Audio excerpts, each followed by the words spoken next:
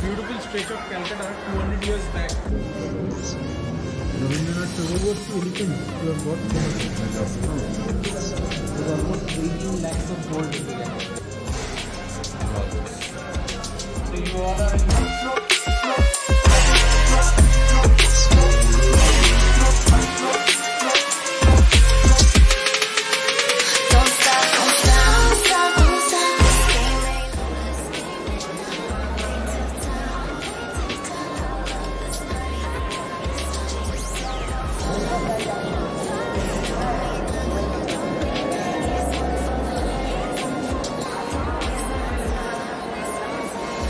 see.